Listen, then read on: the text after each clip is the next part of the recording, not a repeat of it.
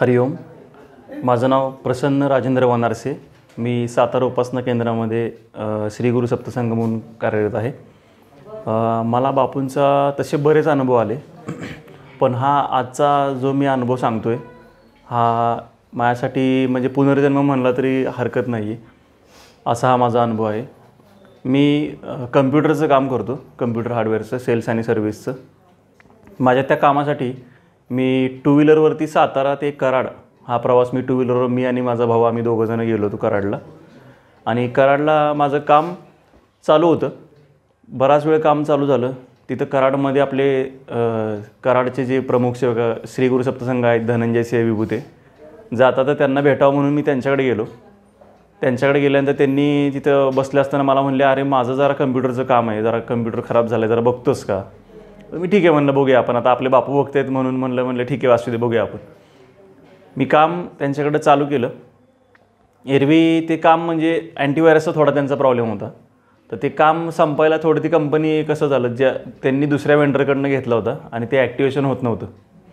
तर ते मी तो इन्स्टॉल नसलं केल्यामुळं ती कंपनी मला सपोर्ट करायला थोडा वेळ दे वेळ घ्यावी लागली की बाबा तुम्ही कोण काय जरा थोडे जास्त फोनवर भरपूर चर्चा झाली. आणि मी फोन असं कानापाशी असं पकडला होता. आणि बोलता बोलता एकदम असं मोबाईल माझ्या हातून पडला आणि मी अनकॉन्शियस झालो. अनकॉन्शियस झालो एकदम आणि मला काय सुचलं नाही आणि ह्या दोघांना पण काय समजत नाही ह्याचा फोन पडला आहे हा डोळे बंद केलेत काहीच हालचाल नाही माझी तिथं. मला एवढंच जाणवत होतं. आणि तो दिवस असा होता की त्या दिवशी बस रिक्षा ह्याचं स्ट्राईक होतं. त्या कराडमध्ये पूर्ण स्ट्राईक असल्यामुळं सगळ्या गाड्या बंद होत्या टोटल आणि विभूतींनी काय केलं? धनंजय विभूतींनी काय केलं? त्यांच्या दुकानामध्ये उदी होती बापूंची. ती उदी माझ्या डोक्यावरती थापली अक्षरशः त्यांनी. आणि केस माझ्याशी जोरात वडले आणि वरडले जोरात. बापू म्हणून वरडले धनंजय विभूतींचा बापू हा शब्द संपतोय ना संपतोय तोपर्यंत मी सुद्धा बापू बापू करत जागा झालो. आणि मी जागा झालो आणि मी त्यांना म्हणलं मला पटकन दवाखान्यात घेऊन चला. मला काही सुचत नाही कारण डोक्याच्या केसापासून पायाच्या नखापर्यंत मला पूर्ण शरीरामध्ये माझ्या मुंग्या येत होत्या. आता धनंजय विभूतींना प्रश्न पडला न्यायचं कसं? सगळ्या गाड्या रिक्षा तर बंद आहेत. ह्याला दवाखान्यात न्यायचं कसं? कारण टू व्हीलरवर नेण्याची परिस्थिती नव्हतीच त्यावेळेला माझी. इतका मी अनकॉन्शियस झालो होतो. आम्ही त्यांच्या दुकानात तरी बापूंचं नाव घेतलं आणि त्यांच्या दुकानाच्या बाहेर आम्ही येऊन उभा राहिलो. बाहेर आलो की एक फोर व्हीलर गाडी आली. कोण माणूस होता आम्हाला काही माहीत नाही. आला आणि म्हणला काय झालं?